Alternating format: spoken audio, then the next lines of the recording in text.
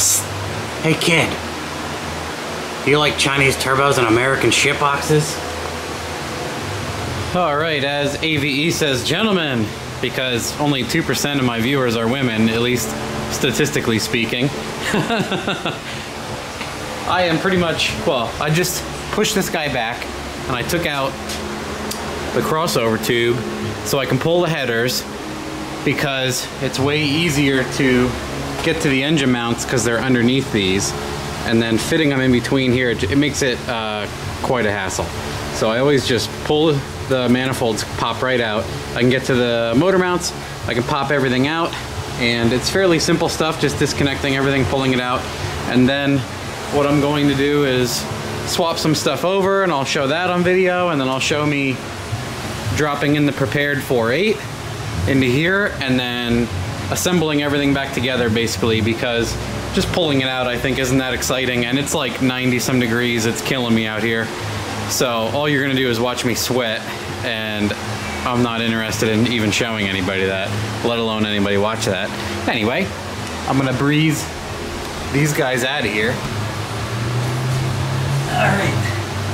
Now you may or may not be able to see but um, I'm there's no balancer. Taking out the three converter bolts. And the balancer over. So we see that where the starter was. Put our 15 on it. Found out the starting is open on the motor.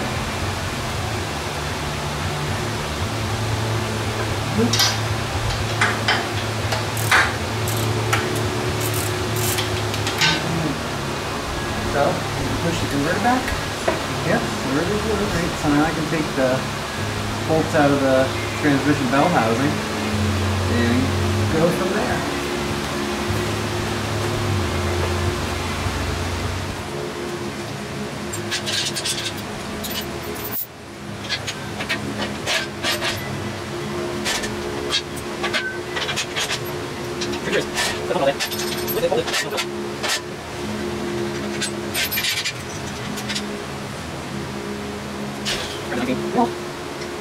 Easy way to do this.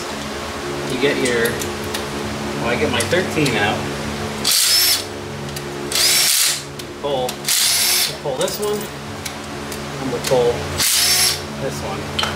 So we're kind of centered. Then, I got this chain here, and you take the spare smaller head bolts that go near the intake ports. You put them through the little chain from Tractor Supply. We breeze it down kind of tight because you know I don't have a lot of ceiling clearance over here. So they're nice and long, they get good thread engagement. And you got a hook point. All right, I got the jack under the transmission. I picked up the motor, up out of the clamshells, wiggled it loose, came off the tranny nice. I didn't have to pry it, it's been off a bunch of times. And if you saw in the other video, I covered the whole back of the block in anti-seize, so it comes off nice. Now we're just going to take a coolant shower.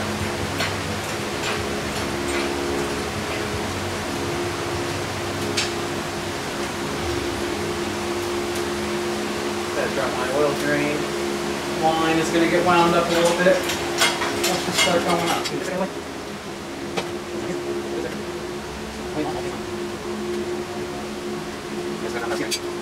これぐらい。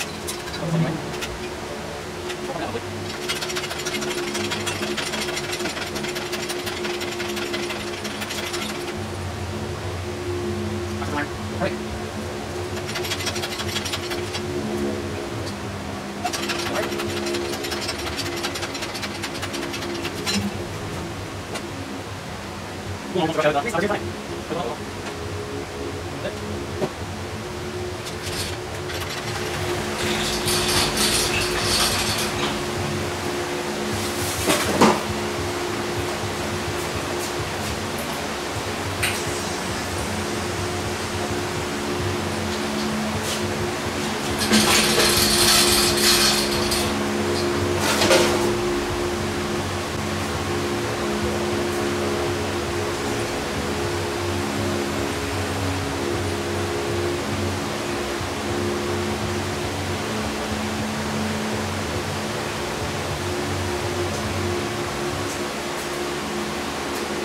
flex plates. See if this has dowels. It's missing a dowel. Get rid of this plastic bullshit. Swap the motor mounts, oil pan, water pump. Drop it back in. Get everything cleaned up and the rest of this coolant dumped out of here. Alright, so moving over this flex plate, you'll see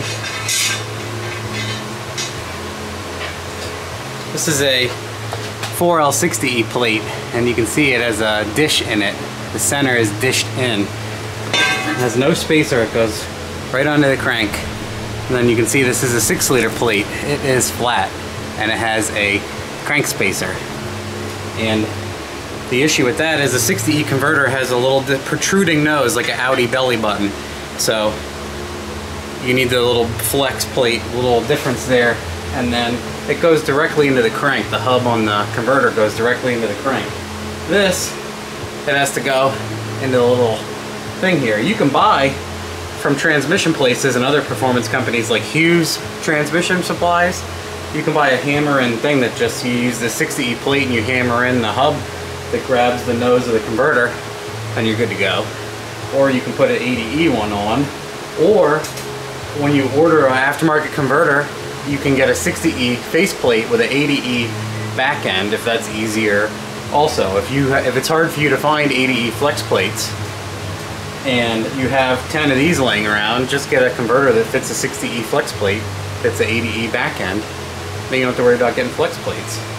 If you're wasting money like 80 to 100 bucks on a stock flex plate, you don't need to do that.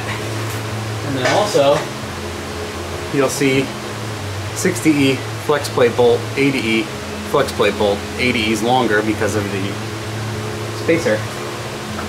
So, hope you understand all that.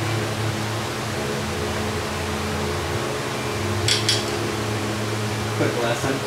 Man, this thing has these have been swapped and haggardly blown on many times. They're starting to round.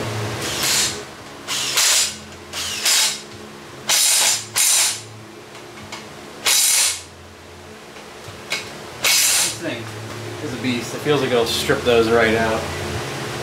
Alright, we just need to transfer a dowel now, over. Before I forget, I gotta swap out this torque converter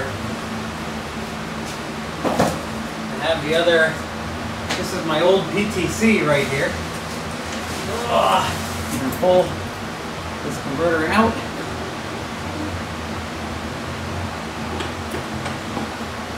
Only a little bit of fluid on the ground. Oh, you fucking stay there. Cap? Put the cap on. Unbelievably full.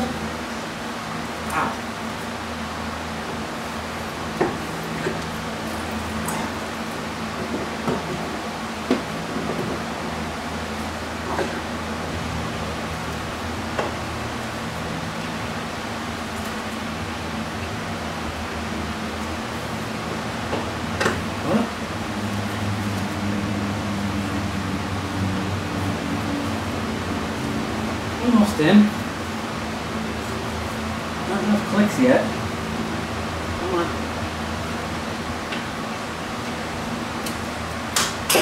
There it is. Okay, ladies and gentlemen, boys and girls, we have a busted off stud here as I was swapping my pan on and I did a quick walk around. I'm like, I should check and see if any studs are broken. I didn't think any were. And lo and behold, one is busted off far inside here. So, we're going to fire up the welder. I'm going to coax it out. I have videos on how to do this. Also, where I do in a, like two entire cylinder heads. I do like six in a couple like 15 minutes. So we'll see how this goes today. It's just one, but it's it's busted off in there pretty good. Uh, let me just try to way in here. See if we can get a bead on it. Yeah, we'll build a little ball. And off to the left or the right to get it like a oblong. So the pliers grab it really good. hard to get a good angle on it. Oh, I think it's going already. Look at that. I need a little bit bigger booger. I'm having trouble with this angle. Let me get more booger. I got my fans blowing on high there. Less than ideal for proper shielding. Here we go. Still hitting my adjuster on my Cobras here.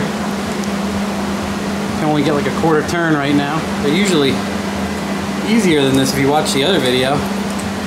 Oh, there it goes. There it goes. I almost do it by hand. How about I just throw all my tools? Throw my tools around like an idiot.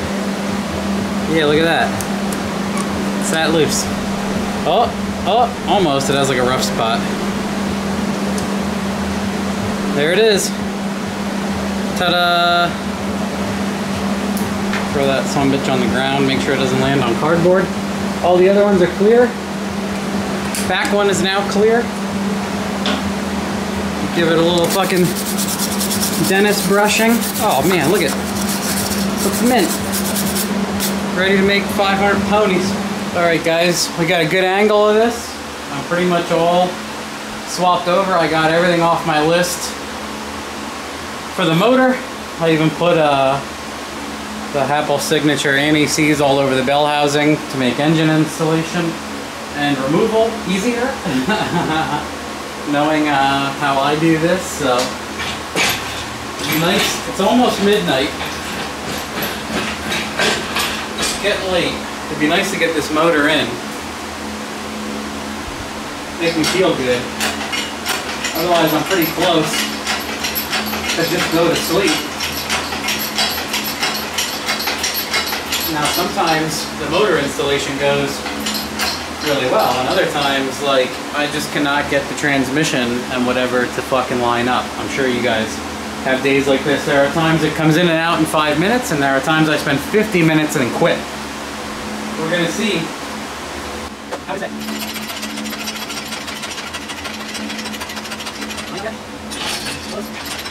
Hold it. Hold it. Hold it. Ui, no, non che sia. Jack, Sam,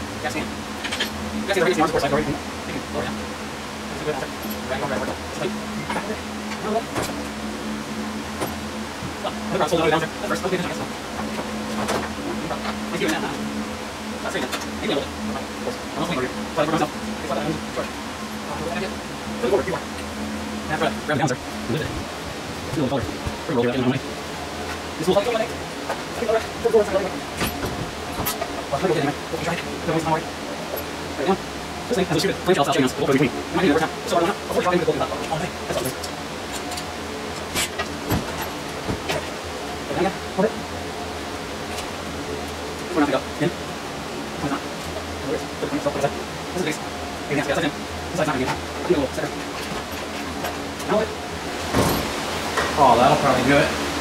Now there's no tension on it. I can just, I can just wiggle this guy back in place.